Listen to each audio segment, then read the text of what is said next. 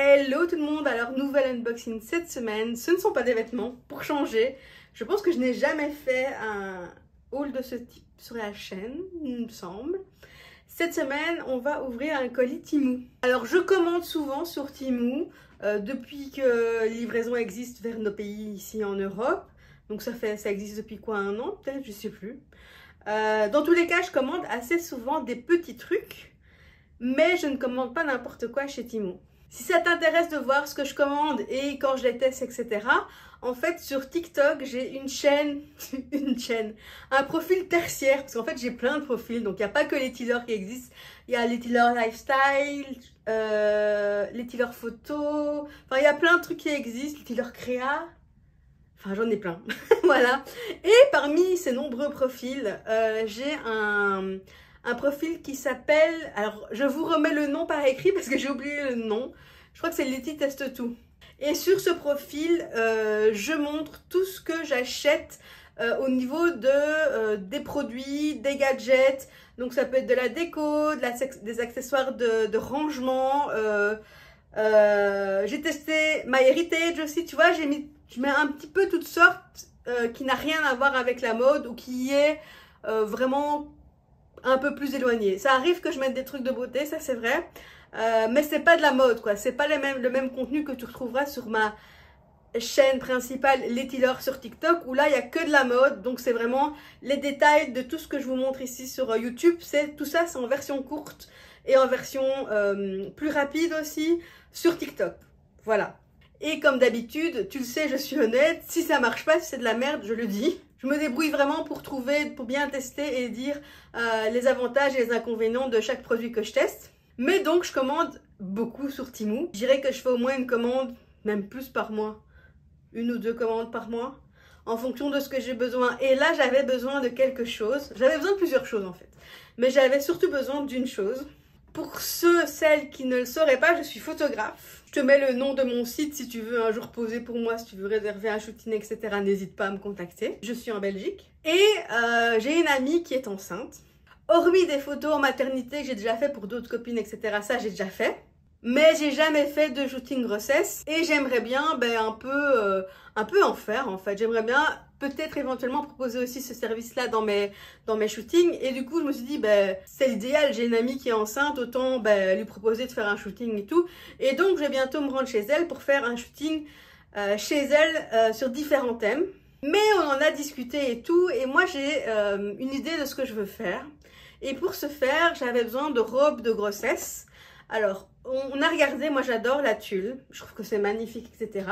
Et justement, on a trouvé des, rideaux en tulle qu'on pourrait utiliser en drapé, enfin tu vois. Moi je vois exactement ce que je veux dire. Euh, mais euh, je voulais aussi tester avec des vraies robes de grossesse. Or, je ne sais pas si vous connaissez le prix des robes de grossesse, les vraies bonnes robes de grossesse qu'on voit souvent chez les, photographes, elles coûtent méga cher, plusieurs centaines d'euros en vrai, parce que c'est souvent fait euh, par des créatrices, euh, avec un système qui permet d'être utilisé à n'importe quelle taille. Donc une robe peut très bien aller de la taille L à, la taille 48 euh, par exemple. Et ça, ça a un prix, c'est normal, c'est fait quasi, à mon avis, quasi toujours main, quoi. Mais les shootings de grossesse, moi, j'en ai encore jamais fait. Je veux juste tester, voir si ça a du potentiel pour moi, si j'ai les idées qu'il faut, etc. Si je sais mettre en pratique mes idées, etc. Donc, je voulais un truc pas cher pour démarrer, sachant qu'après, mais si j'ai envie de me lancer dans cette, euh, ce service-là aussi, de le proposer à mes clientes aussi, à ce moment-là, oui, c'est clair que je vais investir dans du vrai, euh, des vraies belles robes qui seront donc prêtées pendant les shootings. Mais du coup, j'ai regardé sur Temu, on était à toutes les deux, euh, on s'est vu il y a quelques semaines, et on discutait de ça justement, on j'ai différentes idées, et je regardais les robes, je dis, mais ça coûte super cher, et du coup, on va voir sur Temu. Et j'en ai trouvé des vraiment pas chers, à 10 balles, je pense, 10-15 balles. Mais je ne sais pas à quoi ça ressemble parce que moi, je n'ai jamais acheté des vêtements sur Temu. Pourquoi? Parce qu'en général, je sais que c'est des tailles chinoises. Et les tailles chinoises, c'est un petit peu comme sur AliExpress. Je ne sais pas si vous avez déjà commandé sur AliExpress, moi oui. Euh, et les tailles chinoises, ça taille très petit en fait. Donc c'était un peu risqué. Je me suis dit, bah, je perds pas grand chose, euh, je perds 10 euros si jamais ça va pas. Et puis de toute façon, euh, autant prendre une des plus grandes tailles et de voir si ça va, ça lui va. Au pire, je mets des pinces, etc. Enfin, tu vois, je savais pas trop quelle taille prendre. Du coup, j'ai pris des XL. Des XL, des XL. Mais donc, cette commande Timou, Elle est spécialement pour ces robes. Et comme tu le sais, je n'aime pas commander juste pour un ou deux trucs, j'ai pris d'autres choses dont j'avais besoin. On va déballer ça tout de suite de toute façon. Euh, je vais ouvrir le colis, tu peux voir comme d'hab qu'il est fermé. Je vais mettre euh, le chapitrage dans la description où je vais séparer les robes de grossesse et euh, les objets. Comme ça, s'il n'y a que les robes de grossesse qui t'intéressent, en fait, tu dois ouvrir la description et en dessous, tu as les miniatures du chapitre. Tu peux cliquer et directement arriver à la partie où tu, tu veux. Et en général, quand je chapitre, je chapitre introduction, ouverture de colis, puis là, je vais mettre euh, objet, robe de grossesse, puis conclusion. Ah, comme ça, tu peux arriver où tu veux, si tu veux pas tout regarder, parce que comme d'habitude, on sait quand ça commence, mais on sait pas quand ça finit cette vidéo. Donc voilà, je vais ouvrir. Je sais pas si vous vous rappelez, mais au début, quand on commandait sur nous, on avait des sacs orange avec les écritures blanches ou jaunes, je sais plus. Et c'était super voyant. Regardez maintenant, c'est des sacs passe-partout blancs. Plus de sacs orange, moins voyants. Toujours amené, euh, en tout cas pour ma part, par colis privé. Et euh, j'ai pas eu de soucis avec eux. Enfin, c'est déjà arrivé que j'ai des problèmes, mais sans plus quoi. Je vous montre rapidement. Ah, c'est une robe de grossesse. Donc ça sera pour après. Alors ça, c'est des sacs euh, sous vide. Je vais vous expliquer. J'ai déjà testé, j'en ai recommandé du coup en plusieurs tailles. Je vais vous montrer parce que je les ai déjà utilisés le mois passé. Et il y a la vidéo sur mon compte, mon fameux compte TikTok. Ça, c'est quoi? Mais qu'est-ce que c'est? Ah oui Des trucs pour les fils pince-nez. Alors moi je sais pas aller à la piscine si j'ai pas un pince-nez les gars. Ou même à la mer, hein, moi je sais pas. Pince-nez. Je vais poser. Hein. Ici c'est quoi ça? Ah oui ça Ah mais ça je ne saurais pas vous le montrer. Je viens de changer le lit. Ça ce sont des bretelles pour le lit pour tenir la housse de matelas là. Euh, vous voyez pour les mettre en dessous du matelas. Mais je ne saurais pas vous le montrer, il faut déjà deux pour lever ce matelas qui est beaucoup trop lourd et tout. Mais je vais vous montrer comme ça. Et ça, c'est... Ah, je crois que c'est un diadème, non? Je sais pas. Je crois que c'est un accessoire que j'ai pris pour le, le de mariage. Et ça, c'est la deuxième robe. Donc, on va commencer par les accessoires, enfin, par les objets. Vous voyez, il n'y a pas grand-chose. Hein. Et je vais vous montrer, du coup, les sacs euh, sous vide. Alors, pour les sacs sous vide, c'est ceci. Euh, je vais vous mettre sur le côté, euh, je vais me pousser la petite vidéo de manière très rapide, en accéléré, euh, de mon test des sacs sous vide, de ma présentation des sacs sous vide. Cette vidéo, je la linkerai dans la description parce que c'est sur mon compte TikTok de testing. Et du coup, bah, si vous voulez en savoir plus, en voir plus, là, je vais vous résumer, mais vous pouvez aller voir sur le TikTok. Donc voilà, cette fois-ci, j'ai pris des sacs sous vide de différentes tailles, 50-70, 60-80, 60-80 et encore un 50-70, voilà. Pourquoi? Parce que j'ai déjà testé ce machin de sous vide. Euh, je vais vous montrer. Donc, il y a quelques mois, j'ai acheté un kit de, euh, pour, faire des, pour mettre des trucs sous vide. Alors, je vous en ouvre un. Ça fait beaucoup de bruit, je vais le poser. Donc, ça ressemble à ça. Alors, la petite pince qui vient tomber, j'ai aucune idée de c'est quoi en fait. Ah, et donc, quand tu veux faire sous vide, tu as le truc là que tu dévisses. Et moi, j'ai une pompe que j'avais acheté dans mon kit. Mais tu peux le faire aussi à l'aspirateur. Je n'ai jamais fait à l'aspirateur. Évidemment, ici, c'est comme les sacs de réfrigération. Là, tu dois bien fermer. Tu sais, c'est les bazars qui font euh, clic-clic, tu vois. Euh, tu dois bien fermer et puis tu le fais sous vide. Euh, la petite pince qui est tombée. Je sais pas c'est quoi en fait. Je sais pas c'est quoi. J'ai aucune idée de c'est quoi. C'était pas noté dans le kit. Je sais pas c'est quoi. Et euh, en fait, dans le kit que j'ai acheté il y a quelques mois, donc tu avais ça. Donc c'est une, euh, une, pompe. Et c'est très marrant parce que ça marche pour de vrai en vrai. Enfin, le, les sachets sont pas hyper sous vide, mais c'est parce que je m'étais trompée dans le kit que j'ai acheté il y a quelques mois. En fait, j'ai pris des sachets beaucoup trop grands. Je vais te montrer.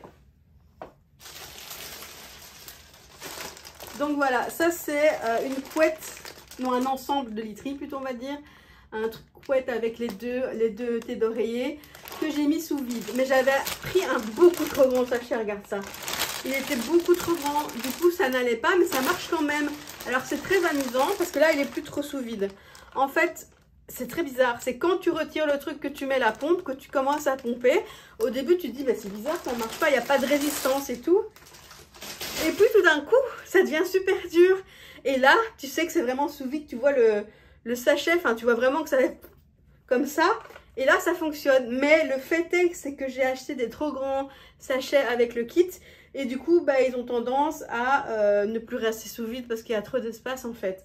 Du coup, c'est pour ça que j'ai racheté des 50-70 et des, euh, des 50-50, 50-40 et 70-80 pour pouvoir remettre convenablement mes trucs dans des bons sachets à la bonne taille.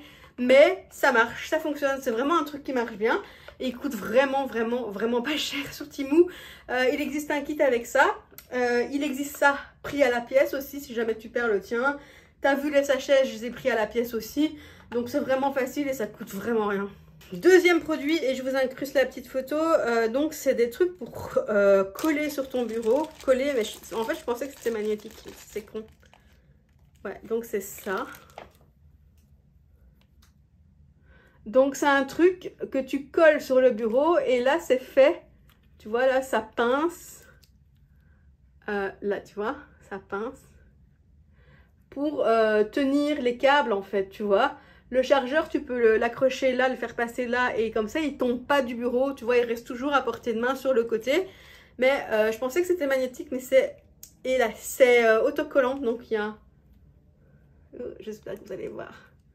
Voilà, regardez, c'est autocollant. Bon, c'est pas du 3M. Parfois, les trucs Timou, c'est du 3M. Et là, je suis sûre que ça colle. Ici, je suis moins persuadée. Mais en même temps, je me dis que si je colle ça sur le bord de mon bureau, qu'il faudrait peut-être que je sache quand même les retirer de temps en temps, ne serait-ce que pour euh, nettoyer ou tu vois, pour que ça ne soit pas gênant comme ça. Donc, c'est pas plus mal si c'est pas, euh, ça tient pas hyper bien. On va voir. De toute façon, je vais les tester. Pour tenir mes fils, du coup, parce que moi, tous mes fils, ils tombent, mais je finis par rouler dessus. Donc, voilà. Ensuite, je vous disais que je ne sais pas aller dans l'eau sans pince-nez. J'ai donc acheté euh, des pince-nez. Ah voilà, il faut que j'arrive à l'ouvrir, comme ça c'est des sachets un peu dur. Voilà à quoi ça ressemble. Moi, je ne sais pas du tout aller dans l'eau sans pince-nez. Hein. Mais vraiment, hein, je trouve ça fou, non? Je sais pas, j'ai toujours porté ça depuis que je suis gamine, euh, que je dois aller à la piscine ou quoi. Par contre, il me semble vraiment pinçants. Ils sont vraiment pinçants. Je vais en mettre un. Bon, j'ai le nez humide. Ah ouais, j'ai mon nez qui est... Euh, j'ai chaud. Je suis devant vous, j'ai chaud. Ah, j'ai chaud, ça glisse. Ça tient pas bien, ça glisse. C'est dans ce sens-là ou pas?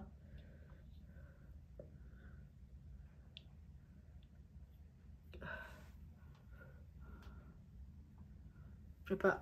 Parce que moi, j'ai jamais eu avec des petits coussins comme ça, tu vois. C'est un peu comme les coussins des lunettes. Ah, ça fait pas mal en tout cas, c'est juste bizarre. Comme ça peut-être. Je sais pas dans quel sens il faut le mettre. Il est un peu haut aussi. Moyen convaincu sur la tenue parce que justement les petits coussins, les les petits coussins en caoutchouc, ça glisse. Là, j'ai mon nez qui est transpirant. Ça glisse. Donc, moyennement convaincu. Moi, mon, mais mon ancien euh, pince-nez que j'ai perdu, c'était un truc métallique. C'était pas du plastoc comme ça. Moyennement convaincu. Et alors, je vous parlais de ça, mais je ne saurais pas vous le montrer. C'est des bretelles. Je vous mets la petite photo de Timou. C'est des bretelles pour matelas. Donc, en fait, vous voyez ça? Je, vais poser les autres. Vous voyez ça? C'est comme... C'est avec des, pinces comme pour les bretelles. Hein, voilà. Et ça se met à chaque coin, à chacun des quatre coins du matelas. Et puis, avec les pinces, tu tires sur le... Comment ça s'appelle? C'est pas le dessus de lit, c'est le couvre-matelas. La housse de matelas? Savez quoi? J'oublie mon français. J'oublie mon français. Et ça, ça arrive, c'est l'âge. Je vous jure que c'est l'âge.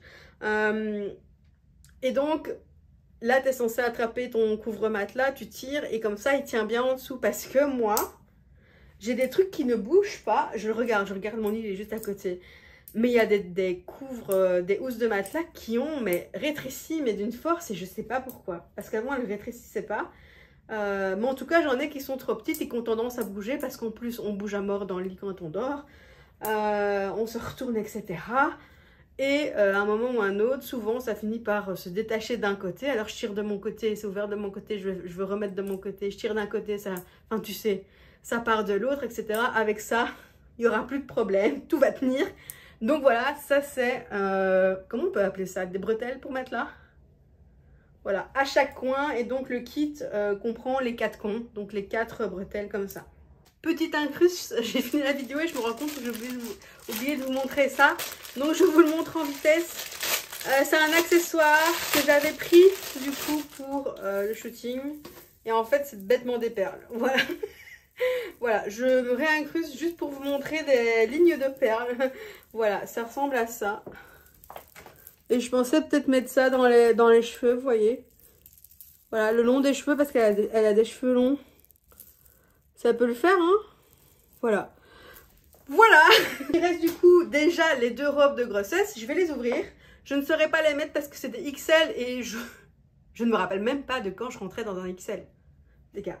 Mais en tout cas, euh, ma pote, elle va sûrement rentrer dedans. Euh, même enceinte, hein, c'est le but. Hein. Donc on va tester celle-ci. Ah, celle-ci, c'est la opaque. L'autre, c'est une dentelle, c'est ça. Donc, bon, faudrait lui donner un petit coup de... Mais tu sais quoi? Ah, ça sent, ça sent le médicament. Je pense que je rentre dedans. je rentre dedans. Vous voulez que je rentre dedans? Eh, je rentre dedans, hein